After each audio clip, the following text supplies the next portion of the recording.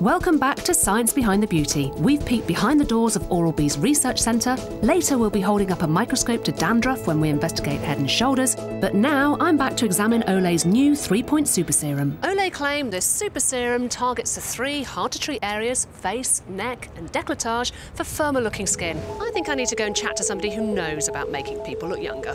As the skin ages, it loses its firmness, or as we call it in the industry, its elasticity. How does firmer skin mean younger-looking skin? Firmer skin is more resistant to sagging. The firmer the skin, the more youthful it looks. So, can serums improve the elasticity of your skin? Well, in my experience, they can, but you need to look at the product's clinical data. And so I will. I have an appointment with a scientific director from Olay. At Olay, we conducted a clinical study to measure the impact of Olay's three-point super serum on the skin surface elasticity. We tested the serum on the face, the neck and the décolletage. How exactly do you measure skin's elasticity? Well, we use this. It's a cutometer. It's a tool used in the beauty industry and it sucks up a small amount of skin into the nozzle and measures the skin surface elasticity. And you have clinical evidence for that? Yes, we do. And what did you find out? Well, we found that the skin's elasticity was improved. Skin looked firmer on the face, neck and décolletage. Well, that's good, but what is so different about this serum? Well, this is our most concentrated serum we've made yet.